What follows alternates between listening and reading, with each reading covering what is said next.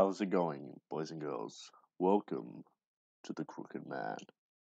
It has definitely been a long time since I've even put up a video featuring this figure, this game, this story. But today we're going to be jumping in to where we last left off.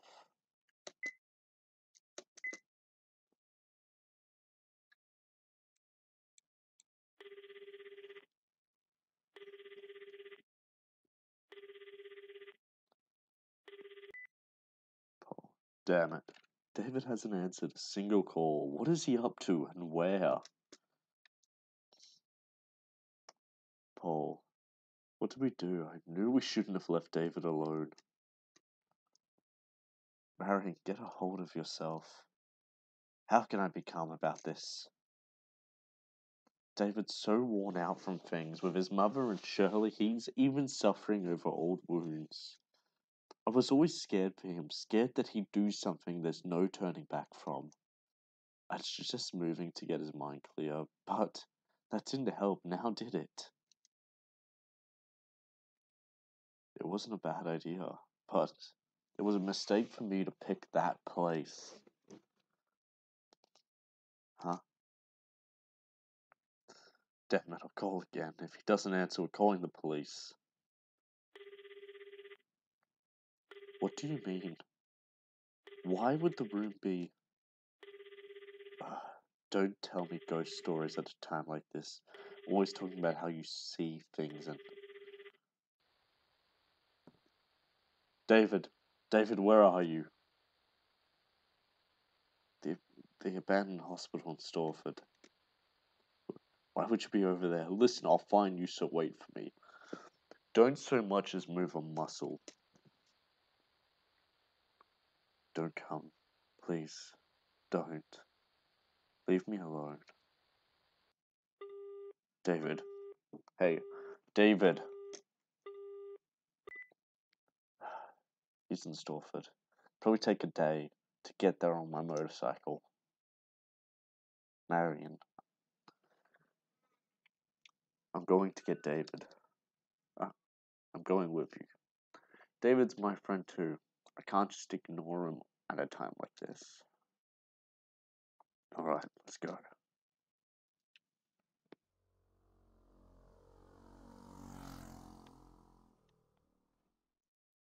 Speaking of motorcycles, I have to go deal with mine. David's car, he's gotta still be here. Come on, Marion, it's dark, so stay close behind. Right.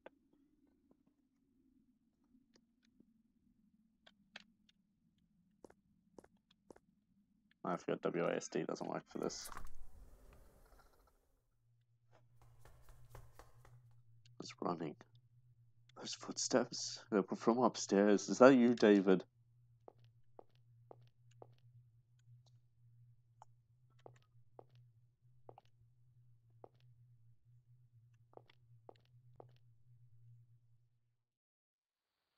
Who's there? What are you doing there? A girl? Oh, what are you doing in this old place? You hate sissies like me, don't you? Huh? But your friend is important to you, right? Hey, what the heck are you? Who the heck are you? What about this place? Go see him. Man, what the hell was that?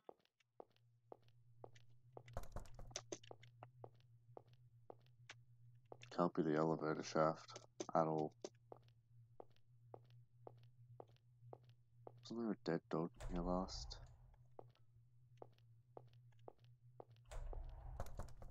Holes painted over. No one, what the hell was that?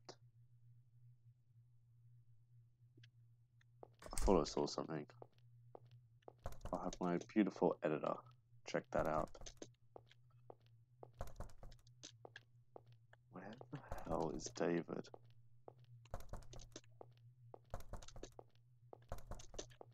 I've checked every room, but he's not here.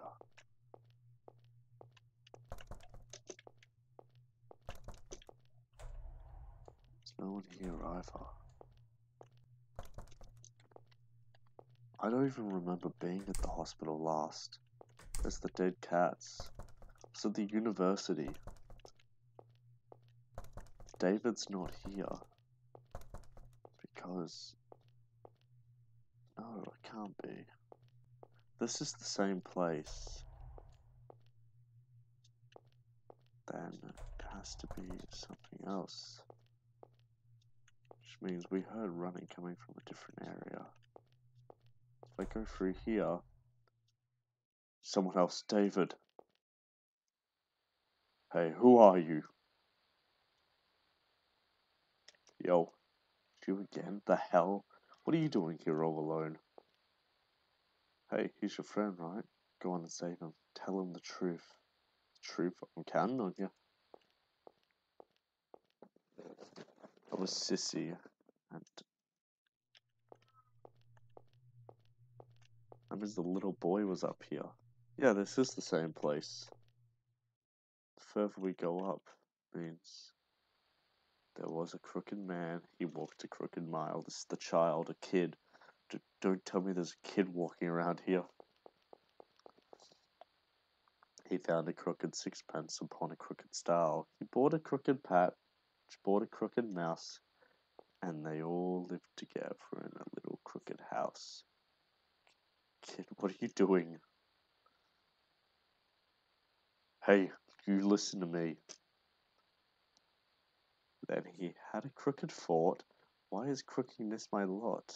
Why must I be crooked instead of being not? So the crooked man would cry, and he couldn't find, fathom why. He was sad all the time, and he sighed. And so he. Mr. David's waiting for you. Go see him. Hey! What's with that kid? Why do you know David? Did he meet him? Forget about him. Let's go marry him. Marion, what's up? Stop it. Are you teasing me? Don't you know this isn't the time for that? Oh, Marion, what do you mean teasing you? Just who do you keep talking to? Huh? Stop trying to spook me. I know there wouldn't be anyone here. We just need to find David. No jokes. So that's it. Marion. Go and leave the hospital. Sorry for trying to spook you. Don't worry, I'll find David. I'm staying with you. If anything happened to you, I'd be putting. Right, let's come back quickly. Right. Just wait for me, David.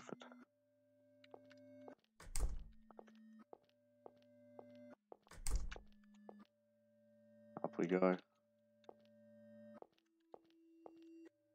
Coming for you, buddy. David, what are you doing out here?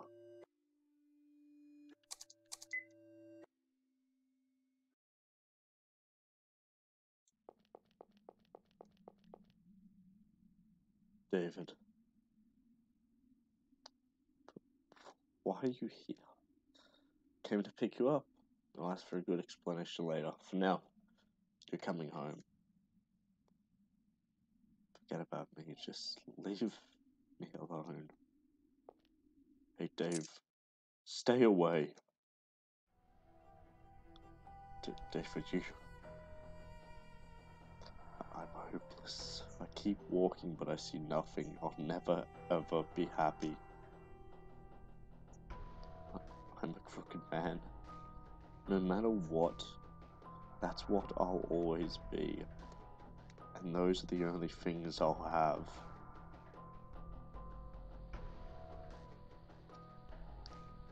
Dave, what? What's that? Agony. Living is agony. Nothing will go how I want it. So right here, right now. David. Snap the fuck out of it. Ow. You damn monster, get away from David. Hey, ow, stop, stop, ow. Hey, That hurt. Stop, you moron. David, you're back with us? Don't say that like I went nuts. I've been sane from the start. Like hell. That's the kind of thing you do sane? I'd have to beat you up till you promised not to. Now, about the stuff you've been doing, better tell me everything that happened.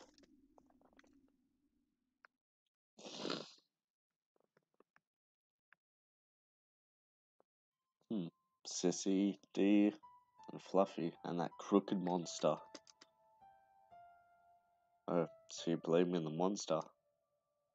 That's my occult fanatic. Well, you see, it's not exactly fanaticism. Don't I always tell you that I see things? You and Marion never believe me. Sheesh. Anyway, about Sissy, D, and the kiddo. I think I met him. Huh, that's ridiculous. Fluffy, maybe, but Sissy and D wouldn't be here. Listen up, David.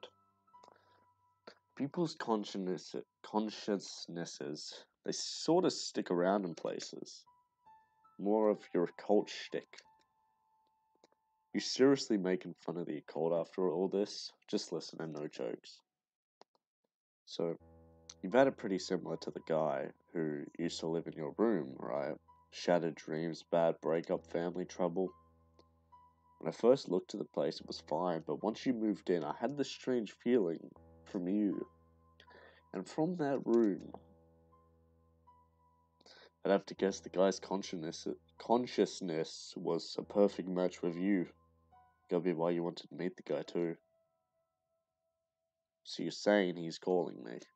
Yep. And you're unconsciously responsing.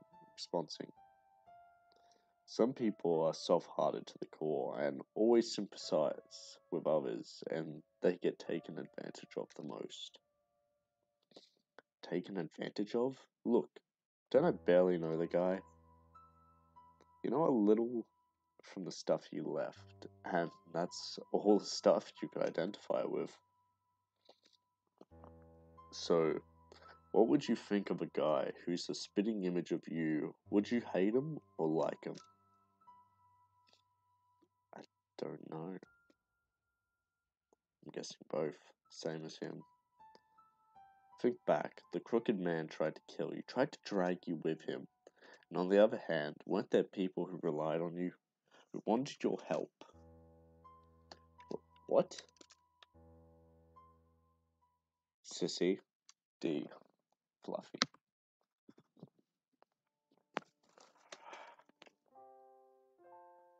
He hated you, but he liked you. He thought he could share in suffering with you, so he was seeking your help. That's why you met those people. That's why I'm thinking, honestly, I'm not sure if it's right. It's not quite right. He wasn't seeking my help, he helped me. Got me back on my feet. Again, that's you and him being similar. Hmm. What's up? There's something in my pocket. When did I pick this up? An address, and I don't think it's that far. I'm going. I have to meet him. You could always not. What if something happens? I feel like if I don't go, the crooked man will follow me forever, so I'm going. David.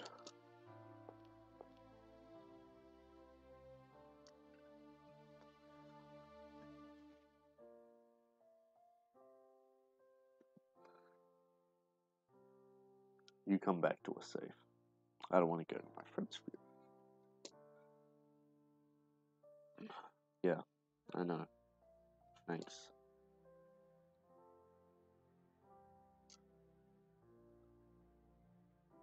Scene 4 Central Hospital, Paul, and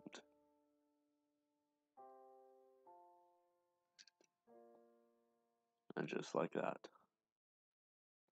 we have reached the final step towards what we seek, towards what there is the Crooked Man. Thank you all for watching. Leave a like, comment, subscribe, and share. This is Sandy, signing off.